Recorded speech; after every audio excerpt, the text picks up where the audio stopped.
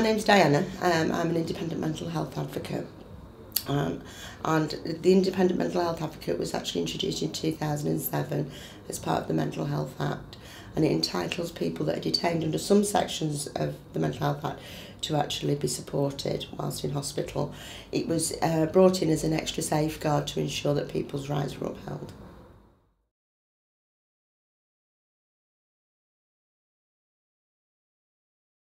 The qualifying patients are those that are detained on the ward under the Mental Health Act uh, 1983. Also those who are um, subject to a guardianship and those on a community treatment order.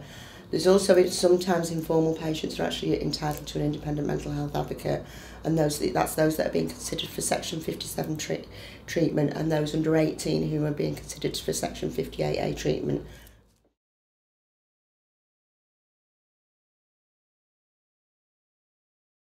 The responsibility of an IMHA is where a patient would like to access the service because it's not a compulsory service, is to help them to understand their rights whilst they're in hospital.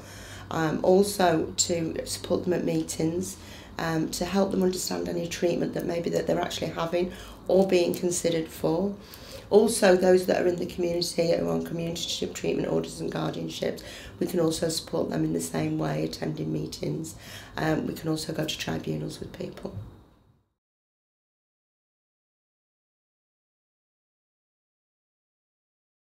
There are some limitations to the role. There's um, some sections of the Mental Health Act that are referring emergencies, in which case the, the patients don't qualify um, for our support. Also, the um, the, the role of the, the IMHA is there for the, the um, patient and not for the nearest relative. However, there is other advocacy services that could offer support to nearest relatives.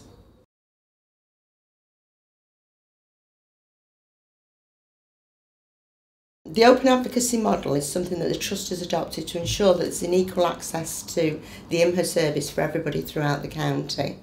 Um, what happens is, is, is um, patients are given full information about the IMHA service and as long as they don't object, there is actually an automatic referral from the Mental Health Act Administrator. Um, if somebody lacks the capacity to actually decide whether they want an IMHA or is, or is assessed to lack the capacity, what would happen is um, the team would make an in uh, best interest decision and decide whether to make the referral to the IMA.